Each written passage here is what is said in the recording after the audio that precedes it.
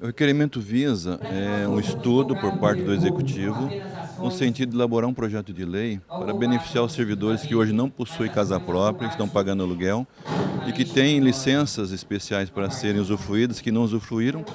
e que ele não gozando dessa licença pode ser indenizado, transformado em pecúnia para que ele possa comprar sua casa própria e deixar de pagar aluguel. O segundo ponto, também para atender os servidores e os seus dependentes que precisam sair do município para fazer um tratamento de saúde fora do município, naqueles tratamentos mais complexos que nós não temos aqui, e que possa estar auxiliando eles com esse desembolso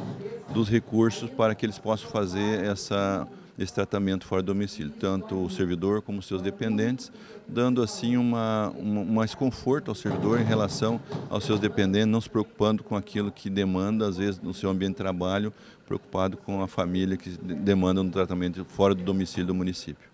Agora o senhor espera que o Executivo receba essa proposta com bons olhos? É, foi aprovado hoje por unanimidade o requerimento e creio que o prefeito ou o prefeito eleito possa sensibilizar as causas dos servidores que tanto trabalham e faz esforço para o município. Entre a administração e a administração, os servidores estão sempre ativos, com, demandando bastante trabalho, ajudando a população de Foz do Iguaçu, tantos servidores hoje ocupando cargos né, de, de, confiança no, como secretário, como diretor, como foi já em muitas administrações. Isso mostra o, o desafio do servidor em ajudar a população.